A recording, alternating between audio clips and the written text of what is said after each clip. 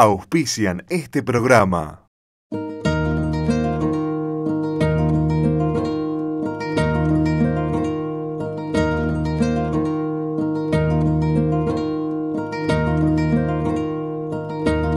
Cooperativa Agros, una empresa de salud recuperada por los trabajadores al servicio de la comunidad. Para el año 81, el obispo de Nevares 27 años de lucha resistir, para enfrentar la dictadura, para salvar compañeros. en defensa de la escuela pública Hemos podido encontrar al autor material y condenarlo, pero también sabemos que hay otros autores. en contra de la impunidad. La unidad de los trabajadores para no dejar pasar acá en Neuquén la impunidad. ATEN.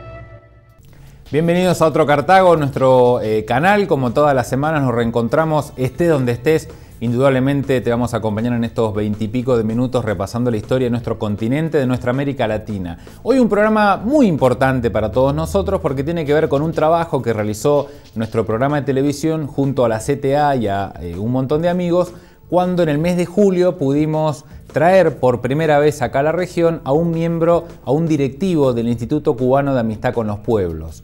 Ustedes recordarán que allá en el mes de mayo, cuando Cartago fue invitado a participar en La Habana del desfile del primero de mayo, fue a través de una invitación que nos cursara el Instituto Cubano de Amistad con los Pueblos.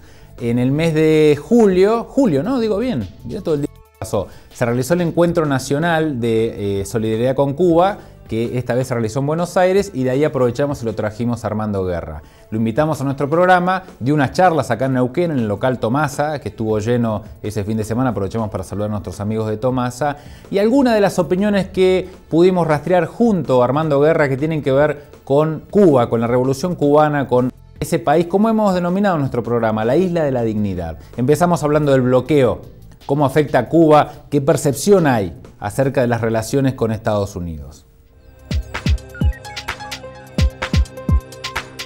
Una de las primeras cosas que ha tenido la capacidad, eh, en capacidad el gobierno norteamericano es de tratar de evitar que su sociedad conozca la realidad cubana. Ese es el, el elemento más fuerte que puede existir. Que no quiere decir de que todos los norteamericanos después puedan estar de acuerdo con la sociedad eh, cubana, pero yo estoy seguro de que comprenderían muchas cosas y estarían muy de acuerdo en que el bloqueo es una injusticia, es una cosa, un acto de guerra contra Cuba que se ha cumplido durante más de 50 años, cuando sepan lo que impide que suceda en Cuba. Cuando sepan de que una medicina para un niño en Cuba podemos tener que pagarla cinco veces su valor para que pueda llegar en ocasiones. O cuando sepan que no podemos adquirir determinada herramienta de trabajo, determinado eh, equipo en específico porque tenga un componente norteamericano. Y que también ese bloqueo ha, impedido que la ciudad, los ciudadanos norteamericanos disfruten de Cuba.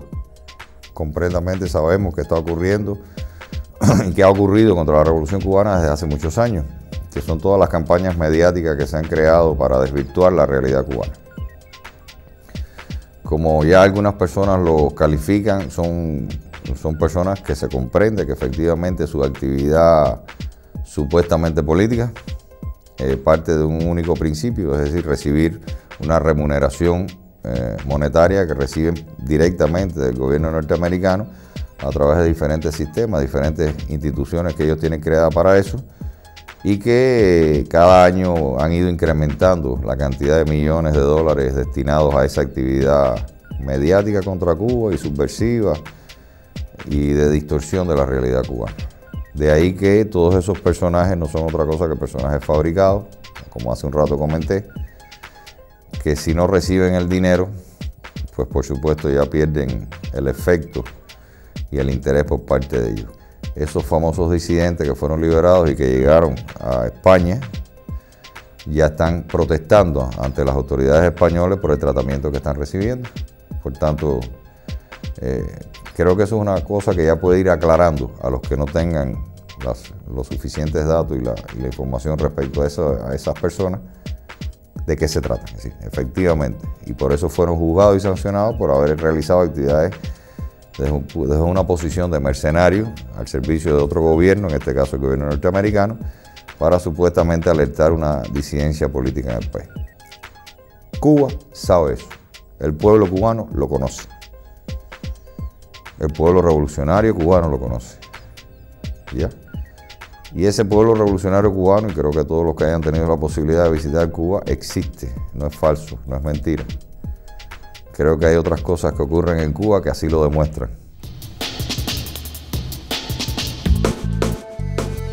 Vamos a nuestro primer corte en Cartago, en esta misión que tenemos con la compañía Las Palabras y para aprender más de Cuba, nada menos que con Armando Guerra del Instituto Cubano de Amistad con los Pueblos. Un aviso, en el cierre del programa, eh, toda la cobertura de lo que fue Flema en Neuquén Capital. Imperdible, yo en la esquina de Rock and Pop. Ya venimos.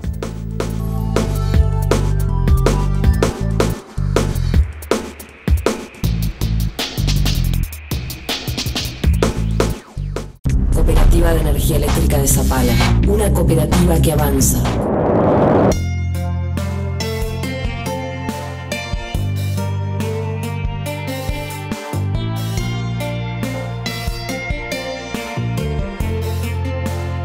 Mil días de gestión, mil motivos para celebrar.